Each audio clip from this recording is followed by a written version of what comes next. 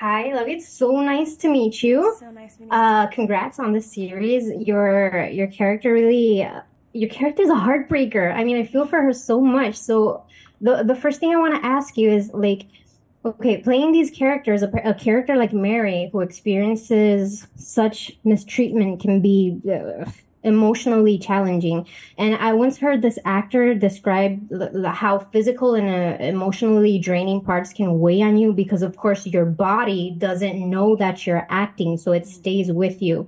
So, in your case, how do you approach a role like this that, uh, from an emotional aspect, and how do you prepare for that? I I think for me, I do have an uh, very strong understanding of um, oppression and just like the feelings that the or just how the world treats people that look a certain way. So I'm very aware of that. So it is very easy for me to disassociate sometimes. So it wasn't too hard to step away from Mary, no matter how like heartbreaking it was. Because if anything, just because Mary existed is the reason why I'm able to tell a story in like complete fullness. You know what I mean? Just to have that freedom. So it it was it was it was intense playing her, but yeah, it wasn't too hard to come back to self. How do those se- kind of scenes go, like before and after the yell cut? How is the interaction with your counterparts when it comes to these kinds of scenes? Mm-hmm.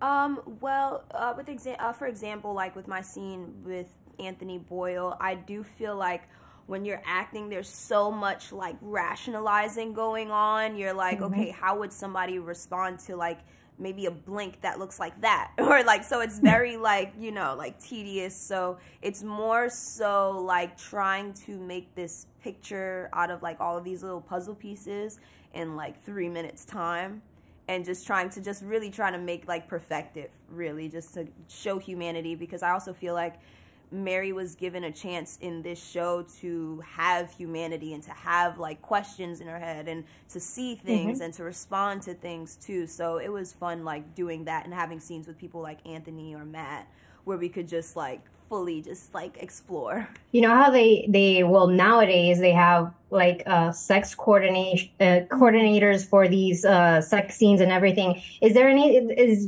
does that exist when it comes to to these topics or is that like kind of a nuance? Yeah, well, they did provide like uh, Monica did provide like somebody that I can talk to just in case things did get too deep and stuff like Okay. that.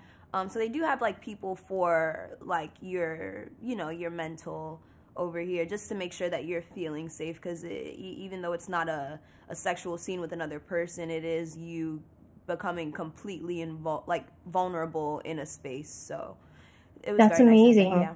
Yeah, because I've I've heard that I think it was Ava DuVernay that uh, had previously done that in other in, on her sets, and I thought, wow, that that is amazing. That's su- such uh, a necessity uh, in, in on sets for for these topics. So, how did this part come to you? How, how did uh, you get? Did you have to audition? Was it offered? How did it go? Yeah, so I auditioned for it, and then it was a self tape, and then um, eventually Monica reached out, and then I booked it, and it was it was nice. It, it happened pretty fast. You're pretty young, so um, uh, are you used to these self tapes, or uh, or are you more used to maybe in person uh, auditioning? I'm used to both, you know. Now that we've lived, now that we've lived in a post pandemic, post strike world, so I've done in person and self tapes, and so just yeah. Well, thank you so much. You're you you've done such an amazing job, and Thank like you. I said, I feel for your character. I love her so much. So thank you and congrats. Thank you.